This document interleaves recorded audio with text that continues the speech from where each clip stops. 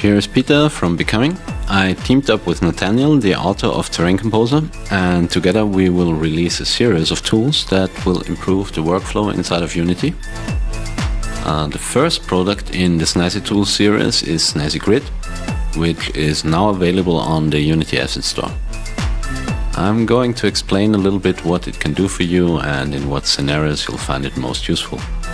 So this is the import dialog. Make sure everything is selected and click import. Will take a second. If you take a look in the menu on the window, you can see a new entry named Snazzy Tools. Go inside, click on Snazzy Grid and as you can see, there is a quick start guide built right into the window. And apart from brief feature explanations, there are also buttons to quickly access the manual or to go to the forum. So if you have any questions or feedback, this is the place to go. The first thing you probably want to do is to dock the window next to your scene view. So let's do that. And if you ever need to see the quick start guide again, you can just scale the window up and it's right there.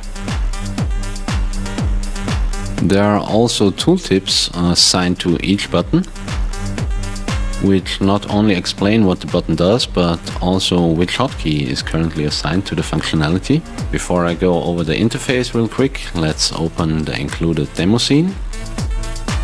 Go under Snazzy Tools, Snazzy Grid, Example Scene and load the example scene. Okay, here it is. At the top there is the grid button and it shows or hides the grid. And you might wonder why there is no grid visible even when the grid is active. Well, Snazzy Grid is a local grid that's based on your selection. So select one of these cubes here and you can see the grid now and that the button indeed does work. Rotate around the selection and you can see the grid is view dependent. And that brings us to the first slider, which controls the view dependency. So if we put this all the way to the left, grid is least view dependent. It will show multiple axes at the same time and if you put it all the way to the right it's most view dependent will only show one axis at a time I like to have it somewhere in the middle so we can see a nice crossfade happening the second slider controls the area size of the move indication. So let's move the slider. At the moment the grid is pretty small so let's quickly go into the settings, scroll down the grid size to a value of 32 and you can see the grid is now bigger and the slider has more effect. The next thing is the grid size which is in scene units. You can put any number in there or just click on the button to cycle through some preset values. Left clicking cycles forward, right clicking cycles backward. And then we have the increment section. It's for moving objects with the move buttons or move hotkeys. There are two increments and the purpose is to quickly um, select or switch between the most used increments. This is also assigned to a hotkey, currently 0 on the numpad, so if I hit 0, or if I click the button, it will switch between the increments. Next we have the angle selection, which is very similar. Uh, two angles can be set and you can switch between using the buttons or hotkeys. You can also middle click or right click these buttons to cycle through the angle presets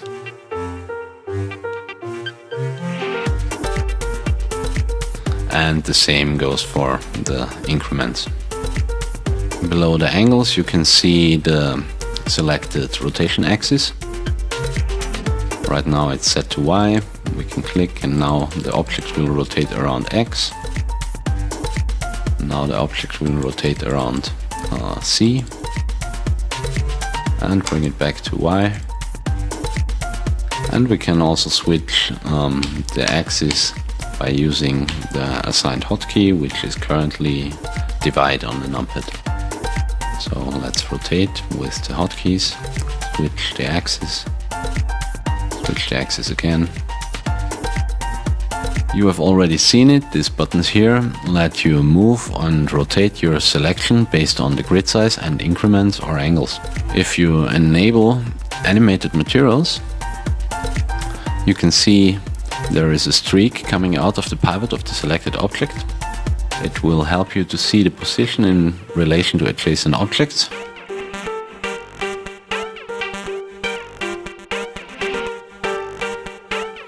And also these little crosses will indicate where the object will be placed when you move it with the uh, move buttons or move hotkeys.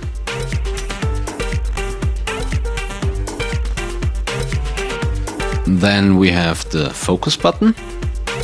This is assigned to numpad 5 and when you enable it, it will always keep the selection in the center of the scene view. So let's enable it.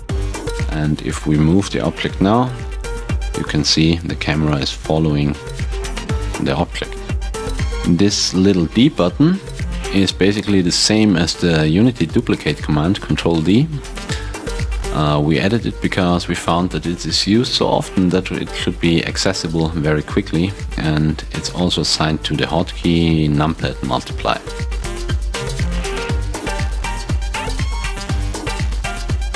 So let's delete these objects again. And then we have the move mode slider and if we are in horizontal mode 4 and 6 will always go left and right 8 and 2 will always go forward and backward on, a, on the horizontal plane and page up, page down will always go up and down on the y-axis. And while in free mode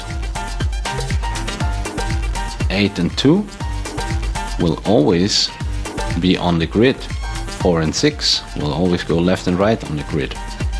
And page up, page down will go, always go forward and backward.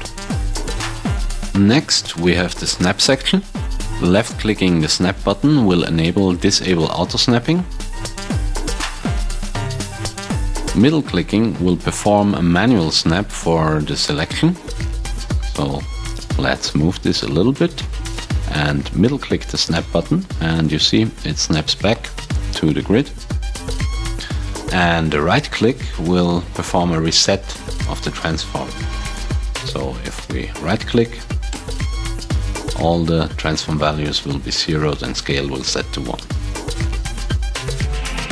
Let's move this one back, perform a manual snap, re-enable snapping. Also, um, this is assigned to a hotkey, which is currently a period on the numpad. So we can enable disable snapping by tapping this hotkey we can hold the hotkey down to temporarily um, disable or enable snapping. If we let go, it will be back on. And let's move this a little bit off the grid. If we double tap the hotkey, it will perform the manual snap. This behavior is the same for all hotkeys of the snap sections and then we have the position snapping this is assigned to keypad 1 it does exactly the same as the snap button and hotkey but only for position. The same can be said for the single axis below. So you can enable disable certain axis for position snapping. Rotation works just the same, the hotkey is 3 on the numpad. And for scale, because it's used less often, um, there is no um, hotkey, but you can of course assign one. Oh, maybe I have to point out that position snapping is based on the grid size, while um, rotation snapping is based on the angle. Uh, next we have some little helper tools that have proven to be very time saving. Now let's start with the U button. It stands for unparent. Let's select a few cubes which are currently parented to this object. So let's select a few. I'll go into the top view in orthogonal and start selecting these objects.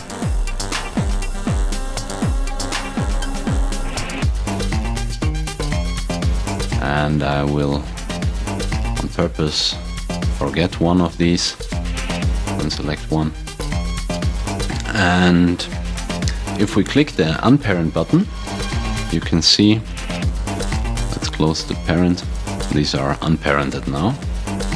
If we want to parent them to a new game object, we can just click the parent button and it will make a new parent at the center of the selection. Hmm, select the children, right click the unparent button this will delete the parent in the process of unparenting. Middle click the parent button and it will make a new parent at the scene origin. And then we have the child compensation button. This is very useful if we want to move the parent but uh, don't want to affect the children. So let's move this over somewhere here and disable child compensation.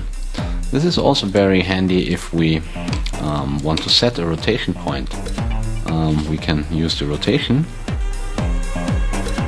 and it's rotating around the parent. Um, if we quickly enable child compensation again, move the parent somewhere else, for example here, disable child compensation, use the rotation key, again around another axis so we can see very very handy. Um, then we have forgotten this other object which is still here. We can quickly hit unparent close the parent and drop this into our new game object which we can rename now. This is the N. Then we have the settings. I don't need to explain the hotkeys anymore and you have also seen the grid size. Um, we can enable disable tooltips here. We can change the color of the grid. For example, let's call into here so we can see the grid. Can make the grid black, can make the grid transparent, can make the grid red if we want. Um, then we have the streak color, so we can recolorize the streak or change its transparency. Then we have the streak scale. This controls the thickness of the of the streak. We have the move indication transparency this is the colored area on the grid. We can make it more or less pronounced if we want. Then we have the grid offset. For example, if I set the grid size to 1, you can see uh, the grid is centered on the pivot. But with the grid offset, it will be offset at a half grid unit. So for example, a scene like this, which is very much uh, Minecraft-like, you might want to have the grid to surround the cubes instead of be placed in the center. And then we have the vertex push, which you probably never ever need to touch.